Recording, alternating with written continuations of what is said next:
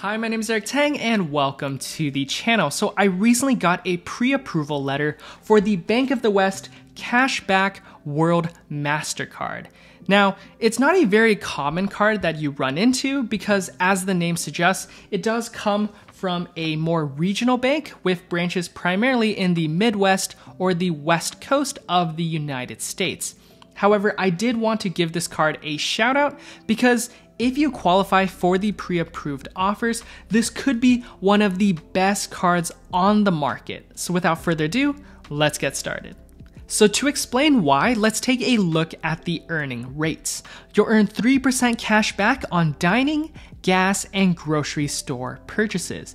And these are by far the most useful everyday spending categories, so a lot of people are going to get really good value from this card.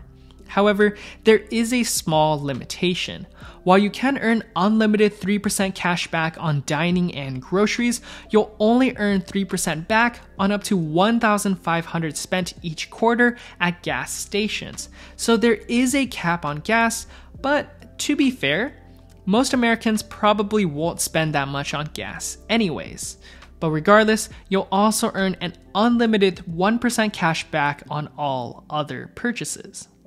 As always, it's important to keep in mind that the grocery store category may not include wholesale clubs like Costco or Sam's Club, and it may not include superstores like Walmart and Target. So, if you frequently shop at these stores for food, you might want to look into store specific cards or to something like the Bank of America Customized Cash Rewards.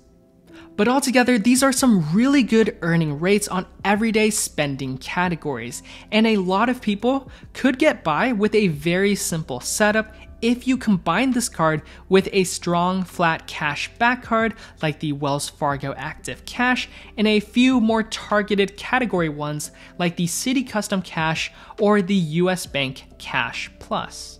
But before you apply for this card, there is a huge problem, and that is the public offer is not very good.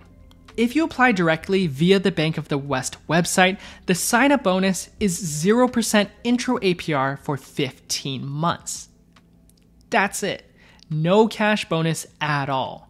So while it does have some really good rates, the card simply isn't that good because there's no upfront cash bonus in the public offer.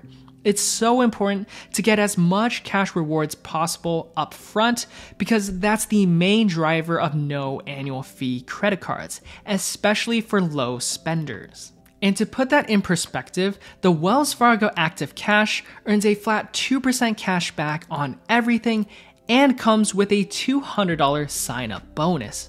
So while the Bank of the West cashback card will offer a higher 3% on dining, gas, and groceries, you would have to spend over $20,000 on these bonus categories just to break even with the rewards you could have earned with the Wells Fargo Active Cash. So there's a lot of opportunity cost if you forego that sign up cash bonus. However, there is some really good news, and that is if you do get a pre approved letter, you might be offered a $200 welcome reward when you spend $1,000 in the first three months. And you can see that right here. You'll also get 0% intro APR for 18 months, so a little bit longer than the public offer.